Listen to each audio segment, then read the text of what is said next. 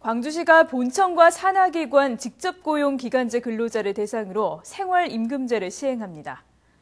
광주시는 생활임금제 도입과 관련해 보고회를 갖고 이르면 5월부터 시급 7,021원부터 8,857원까지의 생활임금제를 도입할 계획입니다. 한편 생활임금은 최저임금에 주거와 교통, 문화와 의료 등의 비용을 더한 임금이며 올해 법정 최저임금은 5,580원입니다.